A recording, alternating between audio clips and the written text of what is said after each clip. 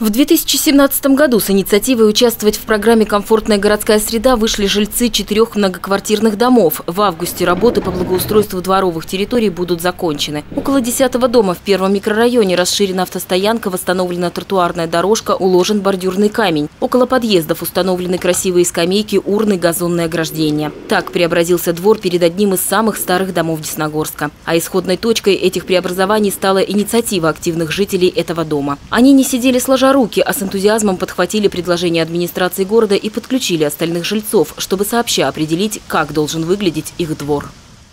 Когда программа была запущена в прошлом году, а, мы э, вместе с администрацией а, активно э, освещали ее на наших интернет-порталах, в СМИ, приглашали жителей к диалогу.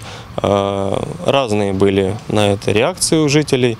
Кто-то более активно откликался, кто-то менее активно. Тем не менее, нашлись в нашем городе активные жители, которым не безразлично то, что происходит у них во дворе.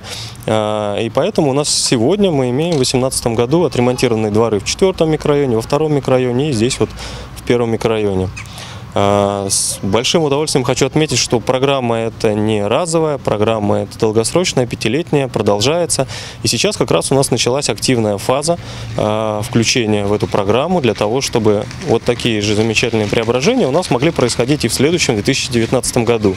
Поэтому а, мы сегодня ждем предложений от жильцов домов, что бы им хотелось в своих дворах увидеть, где-то, возможно, побольше парковочных мест, где-то, возможно, больше зеленой зоны. Кому-то, может, не хватает освещения или лавочек. Э, вариантов э, может быть множество. И здесь, конечно, в первую очередь необходимо знать мнение жильцов, которым потом пользоваться всем этим благополучием, которое в их дворах можно, в принципе, соорудить по этой программе. Здесь вопрос стоит практически конкурса. Кто вперед, Э, заявит, кто вперед и более плотно поработает над тем, что он хочет видеть в своем дворе, тот с большими шансами, конечно, попадет в эту программу. Поэтому здесь я жду всех наших горожан. У нас достаточно много активных горожан, которые хотят изменений вокруг.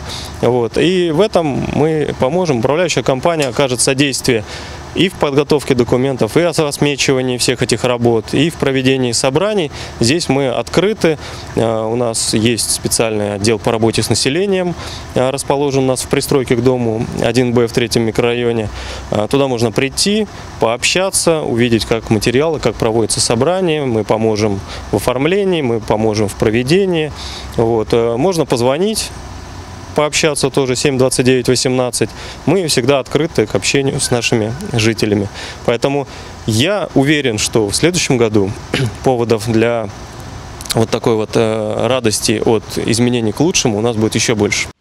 Заявки в управляющей компании можно подать до конца августа. Только от активности самих владельцев жилья зависит, будет ли благоустраиваться их двор в следующем году или нет. Нельзя упускать такую возможность улучшить условия собственной жизни.